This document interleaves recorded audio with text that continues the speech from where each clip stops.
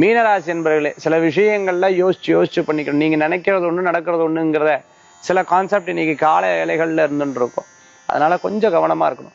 ஒரு நபர் இருபத்தி நாலு மணி நேரம் நமக்கு மதிப்பு மரியாதை கொடுப்பான்னு எதிர்பார்க்கவே கூடாது. சில நேரங்கள் நன்னா பேசுவா சில நேரங்கள் சரியா பேசணும் ஏன் பேசல ஏன் பேசலைங்கிற ஒரு எண்ணங்கள் மனசுல ஒருத்தும் மத்தியானத்துக்கு மேல அது எல்லாமே சரியாகிறதுக்கு உண்டான வாய்ப்புகள் நிறைய இருந்துட்டு இருக்கு காலை வேலைகளில் இருக்கக்கூடிய டென்ஷன் கொஞ்சம் இருந்துருக்கும் இருக்கும் சில முடிவுகள் எடுக்கிறதுல தடுமாற்றங்கள் அப்படிங்கிறது இருந்துருக்கும் இருக்கும் தெய்வ வழிபாடு பண்றது உங்களுக்கு வெற்றி தரும். பிள்ளையாருக்கு பேர் நாலு தேங்காய் உடைச்சாலே எல்லா காரியங்களும் சக்சஸ் ஆகும். ஏன்னா அவர்கிட்ட பாதத்தில் விடதுக்கப்புறம் அப்புறம் எதுக்கு நம்ம பயப்படணும்? பயப்பட வேண்டிய அவசியங்களே கிடையாது. ஆக மீனராசி என்பர்களுக்கு இந்த தினத்தில் அமோகமான பலன்கள் மத்தியானத்துக்கு மேல உண்டு. திருமண காரியங்கள் வெற்றி அடையக்கூடியதாக இருந்தும் குழந்தை வரம் எதிர்பார்த்தவளுக்கு நல்ல செய்தி உண்டு. பிரயாணத்தின் போது சற்று கவனம் காலை வேலைகளில் தேவை. நைட் டிராவல் அறவே தவிர்த்துக்கிறது நல்லது. உடல் ஆரோக்கிய அக்கறை தேவை. மீனராசி என்பவர்களுக்கு உண்டான அதிர்ஷ்ட எண் ஒன்று. நிறம் பல வர்ண வழிபாட்டுக்குண்டான தெய்வம் நவக்கிரக வழிபாடு குலதெய்வ வழிபாடு அமோக பலன்களை தரும் வழிபாடு.